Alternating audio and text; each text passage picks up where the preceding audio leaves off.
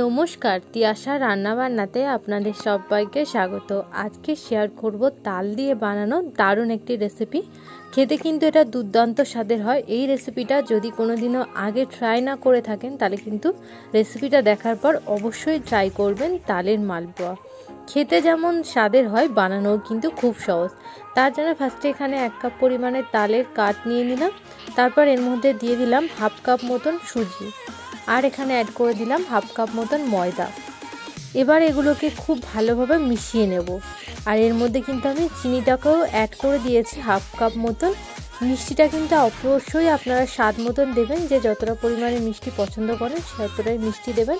তারপর এটাকে খুব ভালো মতন মাখিয়ে নিয়েছি, দেখুন ব্যাটাটা ঠিক এইরকম হবে। তারপর গ্যাস অন করে একটা কড়া বসিয়ে তাতে পরিমাণ মতন দিয়ে দিয়েছি সাদা তেল।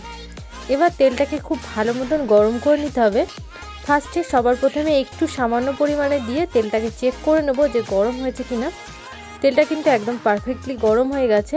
এবারে একটা হাতার সাহায্যে বা ডাবুর সাহায্যে কিন্তু এভাবে মালপোয়ার আকারে এগুলোকে দিয়ে দেবো তেলের মধ্যে। তারপর উল্টে পাল্টে একটু গোল্ডেন ব্রাউন কালার করে কিন্তু ভেজে নেব। ব্যাস, মালপোয়াগুলো কিন্তু একদম রেডি হয়ে গেছে। যদি রেসিপিটা ভালো লাগে তাহলে কিন্তু অবশ্যই লাইক কমেন্ট আর সাবস্ক্রাইব করবেন। আর এভাবেই আমার পাশে থাকার অনুরোধ রইল আপনাদের সবাইকে।